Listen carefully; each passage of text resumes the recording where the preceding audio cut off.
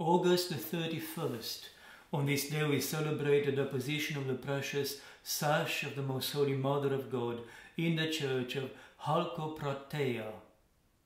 According to an ancient church tradition, at the moment of leaving this world to join her Son and God, the All Holy Mother of God left her two robes to two poor Jewish women who had served her.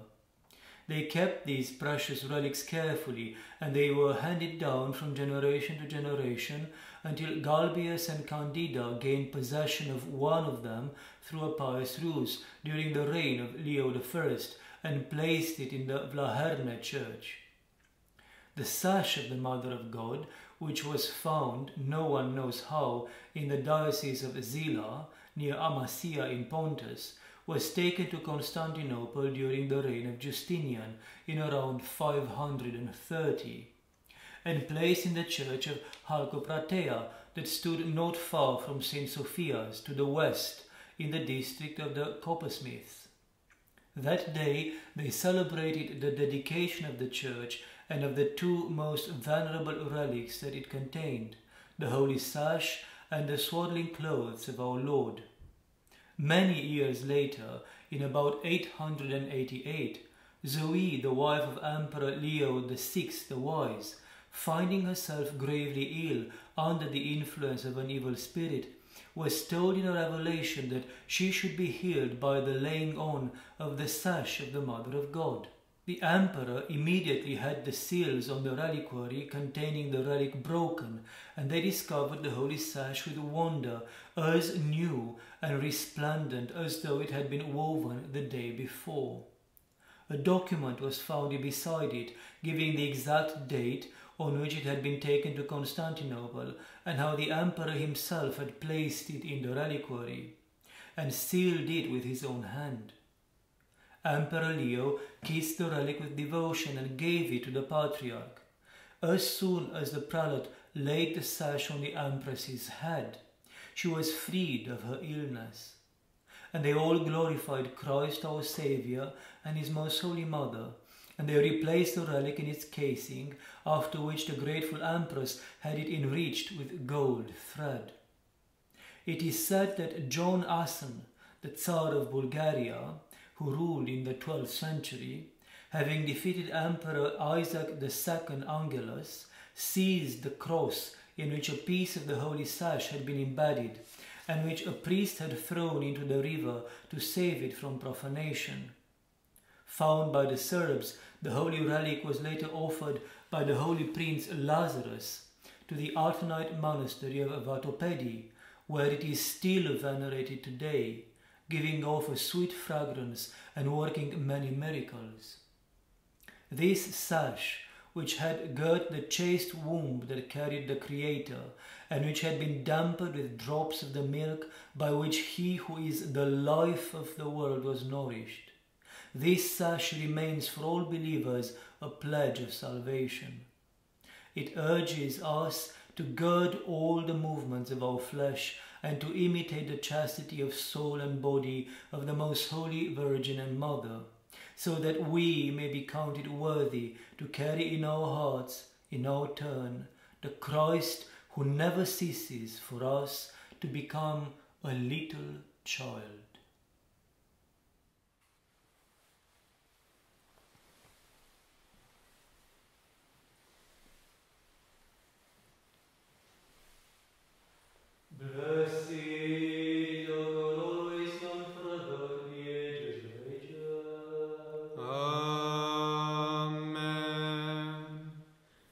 Glory to your God, glory to you.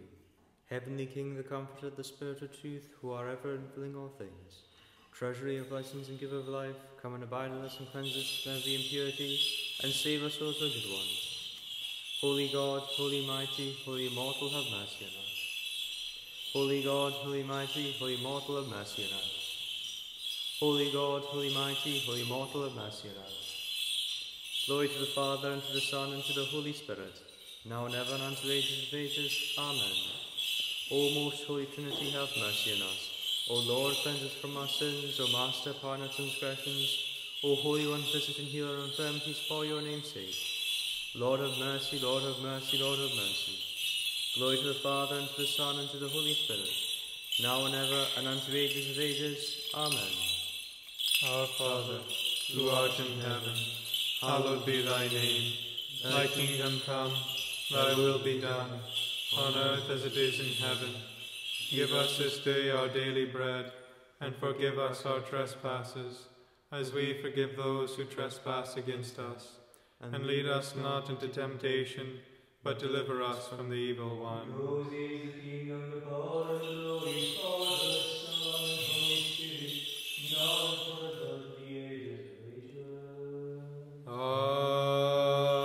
Amen.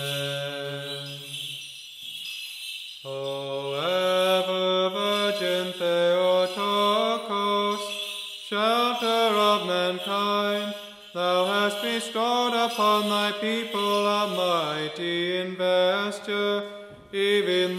immaculate body's raiment and sash, which by thy seedless childbirth have remained incorrupt, for in thee nature and time are made new.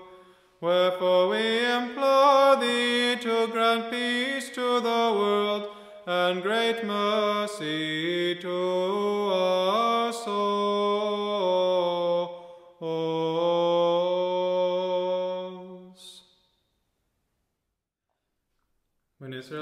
Traversed the gulf of the Red Sea dry shod, they turned back the might of Amalek in the wilderness by the hands of Moses, which formed the figure of the cross. Most Holy Mother of God, save us. The temple of the Virgin, having found her exceedingly radiant sash as a bright and waning lamp, today like a shining heaven dost light the whole world with beams of miracles. Most Holy Mother of God, save us. Thy flock spiritually gild to thy truly divine sashes with power and a bond of safety, O all immaculate one, possesses strength that cannot be broken, wherefore it glories in thee. Glory to the Father, and to the Son, and to the Holy Spirit. Those on earth thy shrine has truly appeared more honorable than the ark of old, O birth giver of God, as it does not bear symbols, but faithfully preserves tokens of the truth. Both now and ever, and unto the ages of ages. Amen. In the temple of the pure Virgin, sweet mystic fragrances pour out from her venerable shrine today, and they fill with the sweet savour of the Spirit all that draw near thereto with longing. Thy church rejoices in thee, O Christ our God, as she cries out in joy. Thou art my soul's steadfastness, my strength, and my refuge art thou, O Lord. O most holy Mother of God, save us. Let us, the faithful, honor the search of the pure Virgin today as a bond of union with God, and let us worship it in faith. Most holy Mother of God, save us. Ever flowing streams of gifts flow from thine immaculate shrine, O most pure Virgin, watering all the faithful. Glory to the Father, and to the Son, and to the Holy Spirit. Much celebrated in song, the sash of the supremely honorable and pure Virgin, today gushes forth healings unto us, the faithful by Christ. Both now and ever, and unto the ages of ages. Amen. Thy joy flows forth like the morning dew, O pure one, ever putting to sleep the furnace of the passions in them that sing thy praise. As the whole church now celebrateth in gladness the deposition of thy raiments divine sash, she crieth out most earnestly, Preserve us all from oppression by our foes, O Immaculate Virgin. Smite the wanton arrogance of the godless barbarians and guide our life in piety and peace, that we may do the divine will of Christ our Lord. Glory to the Father, and to the Son, and to the Holy Spirit, both now and ever, and unto the ages of ages. Amen. O Theotokos, the great rivers of wonders, that issue from thy hallowed shrine as from Eden, well forth and richly water the face of the earth. pouring out its gifts on them that with faith give thee honor. Wherefore we sing hymns to thee, and we solemnly praise thee, and in thanksgiving ever cry to thee. Rejoice thou only, true hope of those lauding thee.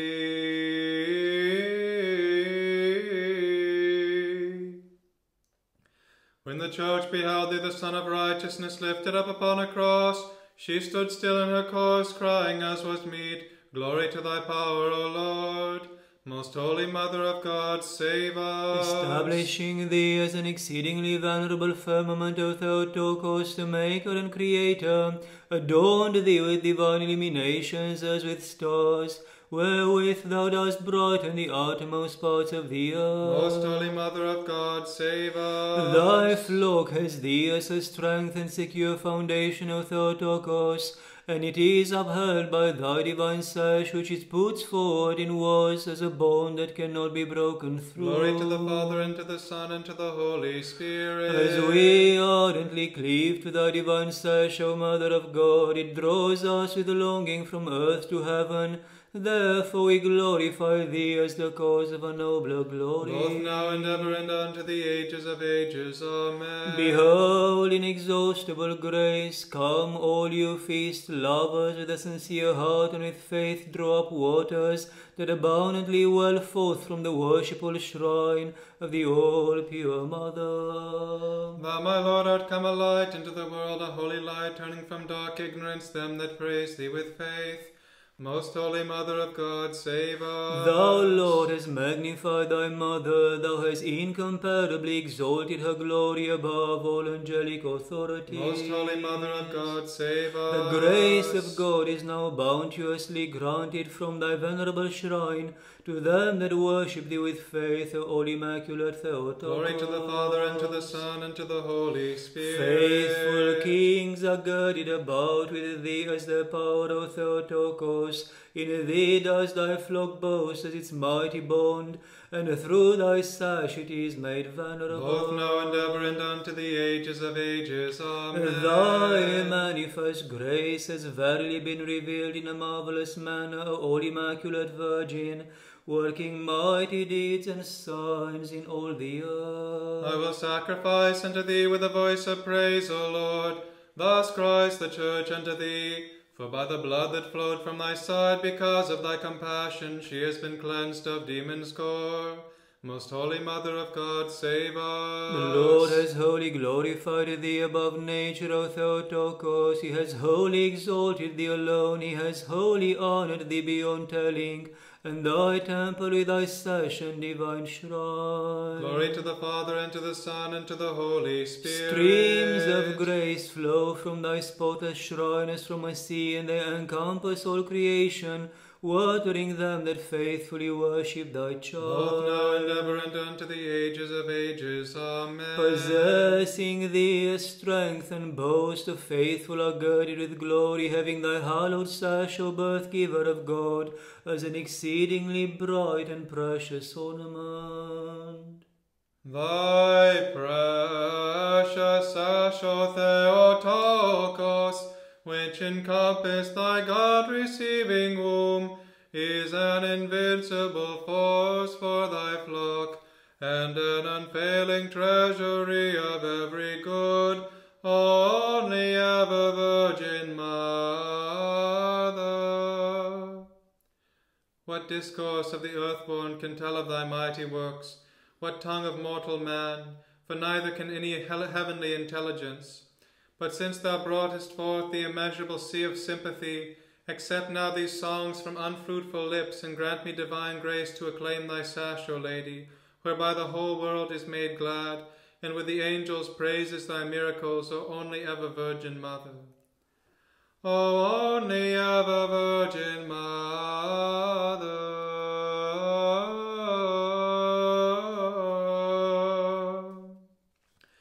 Aflame with the love of piety rather than with fire, the Abrahamite children in the Persian furnace cried out, Blessed art thou in the temple of thy glory, O Lord. Most Holy Mother of God, save us. Since thou alone, O Maker of light, art the Sun of righteousness, thou hast divinely brightened the modest Virgin's temple with thy diverse gifts, and her sash rising up therein shines forth its rays. Most Holy Mother of God, save us. As we compass thy shrine like the golden vessel of manna, O thou who alone art pure, we now partake of the truly divine delight of thy graces, and we honor it as the highest of the tokens we have of thee, O all-blessed Lady. Glory to the Father, and to the Son, and to the Holy Spirit. Verily the wine bowls of thy wonders overflow with grace for the faithful, O all pure maiden, and noetic rivers bounteously issue from thy venerable shrine as from another Eden. Both now and ever, and unto the ages of ages. Amen. Draw near with gladness now, all you upon the earth, come for the shrine of Our Lady mystically exhorts us. Embrace her surpassingly glorious sash treasured up within me. When Daniel stretched out his hands, and the den he shut the gaping mouths of the lions, and the children, those lovers of piety who were girt about with virtue, quenched the might of fire as they cried, O all ye works of the Lord, bless ye the Lord. Most Holy Mother of God, save us. Oh, the ark held the divine tablets graven by God's hand, all pure one. But thy venerable and honorable shrine, O Immaculate Lady, contains the sash which held the very giver of the law within thee. Dread is the mystery. Most Holy Mother of God, save us. Angels now form a choir in thine august temple, O pure and all spotless Lady, and they attend upon thine honorable and holy sash, which we worship with longing and joy and exceeding gladness, praising thee as the glory of our race. Lord, we bless Father, Son, and Holy Spirit, the Lord. Thou art the rod that budded with the flower of life, O Immaculate One.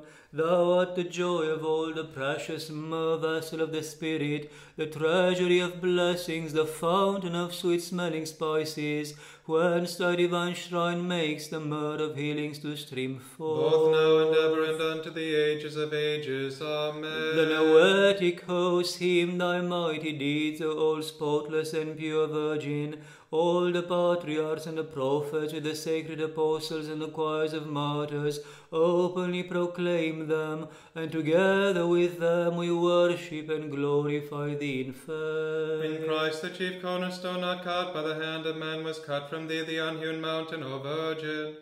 He joined together the separated natures. Wherefore we magnify thee with rejoicing, O Theotokos.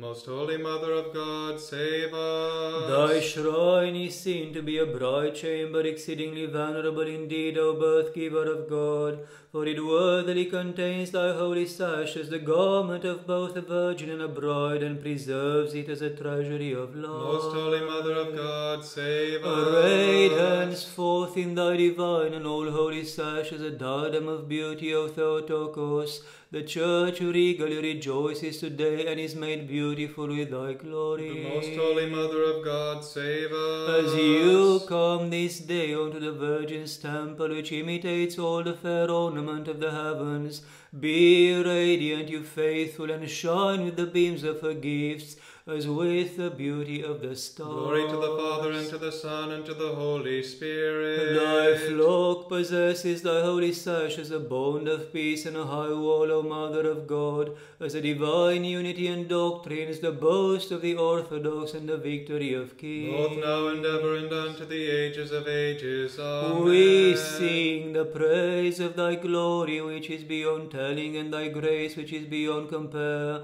For thou, O Immaculate One, art the fount of wisdom, whence issues the word unto all that honor thee, and magnify thy giving of birth. He that doth all concerning thee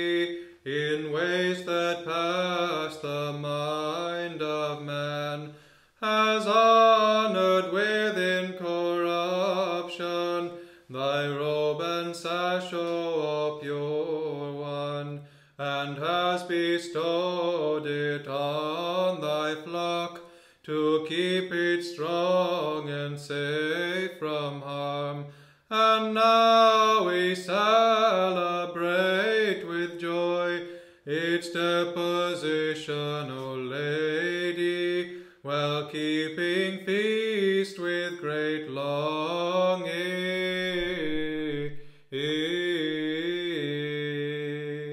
Wisdom, most holy Mother of God, save us. Than the cherubim and beyond compare, more glorious than the seraphim.